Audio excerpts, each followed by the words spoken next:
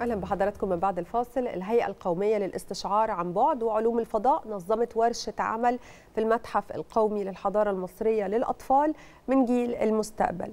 إيه حكاية الورشة دي وإيه اللي اتعلموا الأطفال منها؟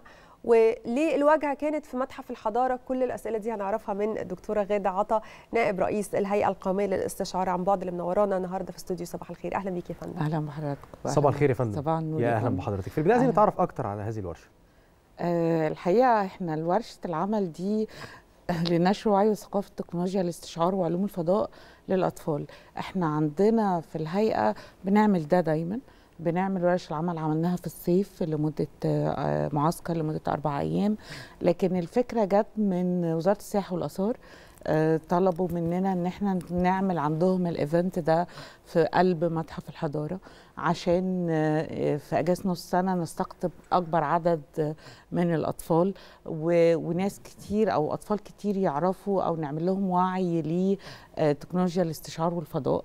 الفكرة عجبتني لأن أنا هخرج من نطاق آه، هيئتي. آه، هخرج بره في مجتمع مفتوح دي أول مرة تخرجوا من الهيئة؟ آه، مش أول مرة بس أول مرة نط- نخرج في مكان آه، آه، تبع وزارة الآثار مم.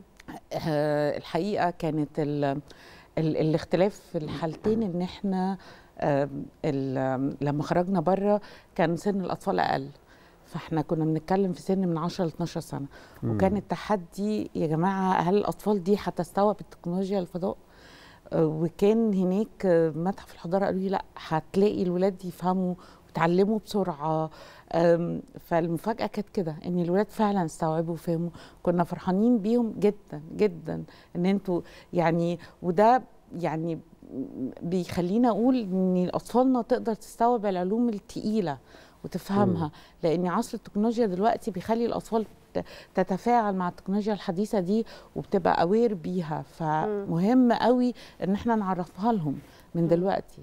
طيب عاجبني قوي إن أنتوا عملتوا مزج لذيذ قوي ما بين المستقبل وما بين الماضي والمستقبل. آه. إزاي مزجتوا بين علوم آه، الفراعنة والمستقبل؟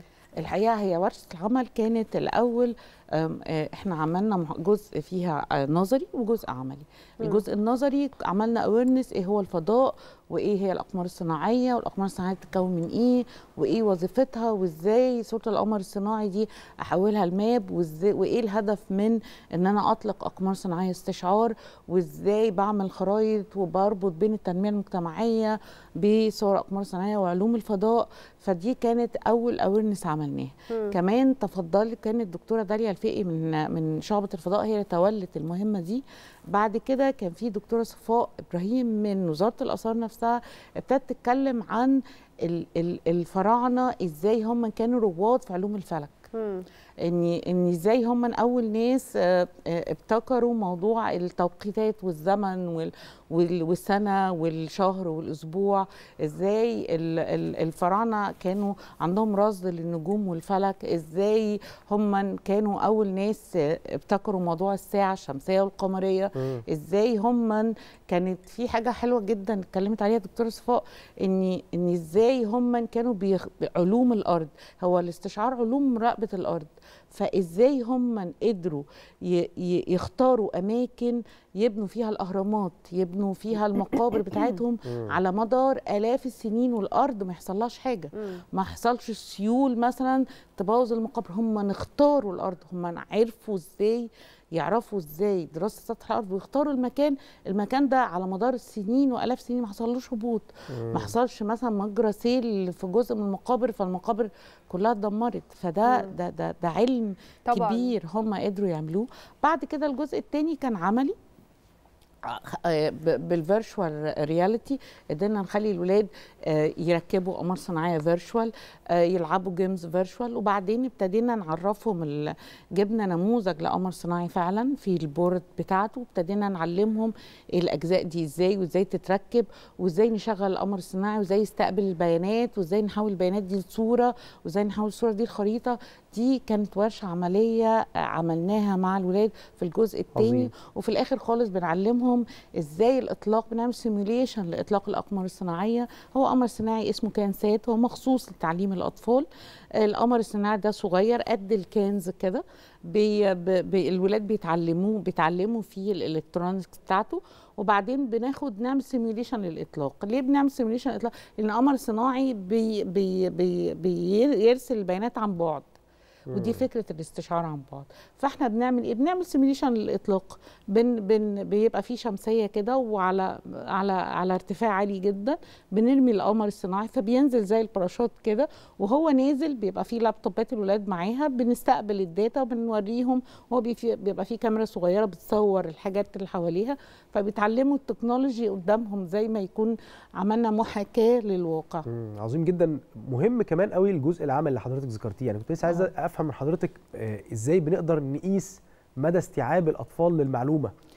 الحقيقة دايما ورش العمل بتاعتنا بتبقى انتراكتيف أنا بقول وبسأل وبعرف وبشوف الولاد يعني كل مرة إيه أنا بقول المعلومة وبسأل فيها وقبل ما أقولها بسأل بعرف مدى هم استقبلوا البيانات إزاي المعلومات وبعد ما بخلص بسأل وبعرف الولاد وصلوا إيه معايا. فالحقيقة كان حلو جدا لقينا التفاعل لأن الولاد فهموا كويس. وكنا بنديهم بونص بعد كده إني والله اللي بيجاوب حلو قوي أنا هخليه يلعب games VR فكان الولاد يعني يتسارعوا إن هم يفهموا صحيح. عشان يلعبوا. طيب أنا النهارده يعني عجبني قوي اللي أنتوا بتعملوه إنه ده كمان هيخلي الأولاد يحبوا يتعلموا ده أكتر ويمكن يشتغلوا فيه لما يكبروا. فنلاقي عندنا جيل كامل من العلماء اللي يخترعوا يمكن حاجات جديدة ويربطوا الماضي بالمستقبل. ويمكن نحل شفرات حتى الفراعنة عملوها زمان نحلها النهارده. لو أنا النهارده عندي أولادي عايزين يشتركوا معاكم يعملوا إيه؟ والله هو في هيئة الاستشعار وفي نورس في آر أكاديمي. عفوا. ده على الفيسبوك. بيقدروا يدخلوا يلاقوا رقم تليفون ويبدأوا يتواصلوا معانا وبيجوا. كل ما بنعمل مجموعات بنعمل ورش عمل. الحقيقة إحنا يعني في الفترة الأخيرة دي ابتدينا نعمل انفيتيشن لمدارس تجيلنا ابتدينا نعمل نوسع نشاطنا. ابتدينا دلوقتي حاليا أنا بحاول أتواصل مع النوادي كمان هي. إن أنا أعمل ورش العمل دي في قلب النوادي في الأوبن إير السنة اللي فاتت لما عملنا معسكر المعسكر بتاع منتدى شباب شمال أفريقيا عملناه للأطفال أو شباب بقى من 16 ل 20 سنة مع بالتعاون مع وزارة الشباب. وعملنا إطلاق القمر الصناعي في قلب مركز مراكز الشباب. فالحقيقة إحنا متاحين جدا لو حد دخل على هيئة الاستشعار في ال website وطلب ده. إحنا جدا مكان الهيئة بتاعتنا في جوزيف تيتو في مصر الجديدة. أي حد يجي لنا جروبات أهلا وسهلا بيهم. ده ده هدف هيئة الاستشعار إنها بتنشر العلم ده جوه الشباب جوه الأطفال. الحقيقة بيسعدنا جدا إن إحنا نوصل لده وإن الولاد تستفيد لما عظيم. تيجي تتعلم عندنا. يعني أنتوا عندكم استعداد تقدموا بشكل مكثف أو بشكل دوري كمان بس محتاجين الناس تيجي. يعني آه آه. وفي في جهات يعني في جامعات ابتدت تتواصل معانا ان لا إحنا عايزينكم تيجوا تعملوا عندنا ورش العمل في الجامعات الأكاديمية العربية البحرية جامعة الأزهر جامعات كتير ابتدت تقول لا يا جماعة تعالوا اعملوا عندنا ورش للطلبة. فاحنا بس الطلبة بنحاول نكبر المعلومة شوية عشان يبقوا خصوصا بتوع هندسة وبتوع كمبيوتر ساينس بيستفيدوا جدا من من الشغل بتاعنا. أكيد. طب ورشة العمل القائمة حاليا بتبتدي من سن كام؟ والله أنا أنا بقول إن ورش العمل عشان تبقى مفيدة إنها تبقى من سن دي كانت وجهة نظري ان إعدادي وثانوي. لكن لما شفت في متحف الحضارة إن الأطفال الصغيرة في ابتدائي كانوا صعبين جدا وفرحانين جدا بالعلوم حقيقه لا غيرت رأيي. يعني لا ممكن أطفال مثلا بس بنتكلم عشان نظارات ال VR كمان ما تبقاش متعبة للأطفال الصغيره قوي فبتكلم من رابعة ابتدائي مثلا. طيب أنتوا في الهيئة زي ما حضرتك ذكرتي دلوقتي إن إحنا ممكن نعمل ورش عمل للأطفال رابعة ابتدائي إعدادي ثانوي جامعة. المتخصصين بقى على إقامة مثل هذه الورش هل عارفين إزاي يتعاملوا مع الأطفال؟ الحقيقة آه. الحقيقة آه. يعني بجد أنا شفت ال presentations اللي بتعملها الدكتورة داليا يعني هل دي. سمات شخصية مثلا فيهم إن هم قادرين على التعامل مع آه، الأطفال ولا آه، في مثلا دورات تدريبية خضعوا لها عشان يقدروا يتعاملوا مع الأطفال ال- فيبسطوا المعلومة للطفل؟ إحنا بنختار إحنا هيئة استشعار القائمين على التدريب بنختار. بنبقى عارفين مين اللي عنده السمة دي بنختاره ونبني نتعاون معاه عشان مش أي حد يعني ممكن يبقى عالم شاطر جدا لكن ما عندوش talent التدريس أو توصيل. المعلومة. فده إحنا بنختار. مع الوقت بيبقى عندنا اكسبيرينس إن مين أقدر أحطه في الحتة دي فيسد في الجزئية دي آه، مش كلنا هيئة استشار كعلماء يقدروا يبقى فيهم كده لكن أقدر أقول لحضرتك يعني في ناس كتير معظمنا كتير بيقدر يعمل ده والتعامل مع الأطفال بيبقى محتاج شوية آه، هدوء شوية صبر يقدر تبسيط. عنده. استعداد إن هو يبسط العلم الكبير وخصوصا علوم الاستشعار الفضاء علوم تقيلة بعتبرها تكنولوجيا ثقيلة يعني مم. طيب بعض ال ال الآباء يمكن ممكن يقولوا إيه التطبيقات آه، اللي ممكن يستفيدوا بيها أولادنا آه، على حياتهم في المستقبل أو على دراستهم حضرتك قلتي مجال زي computer science ال- الكليات زي computer science هندسة اتصالات لو أنا مش غلطانة إيه آه. كمان والله كل الناس بتوع علوم ال physics مم. آه، يقدروا يتع- يتعاونوا أي مجال أنا عايزة أقول لحضرتك حاجة علوم استشعار هي علوم وتكنولوجيا الفضاء علوم بتختص بعلوم الأرض. يعني أي حاجة تختص بعلوم الأرض جغرافيا فهت- فالاستشعار فيها.